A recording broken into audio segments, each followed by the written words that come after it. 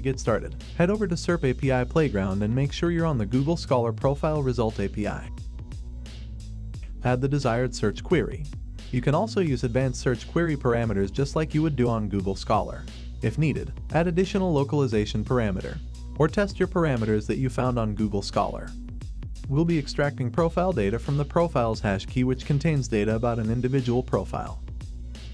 To paginate to the next page, we'll be using the pagination hash key, which returns a next page token that we'll use to paginate to the next page. Don't forget to use the export to code playground feature that generates boilerplate code for you. Now to the actual code. To extract data from all pages, we'll be using a while loop in combination with the pagination hash key. Note that the get dictionary method should be inside while loop to be updated to new page data.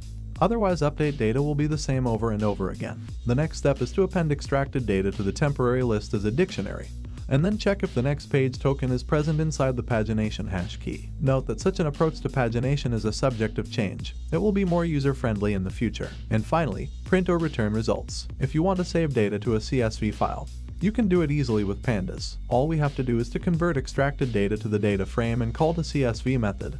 Give a CSV file name. And that's it. Now let's compare returned results to the actual results in the browser.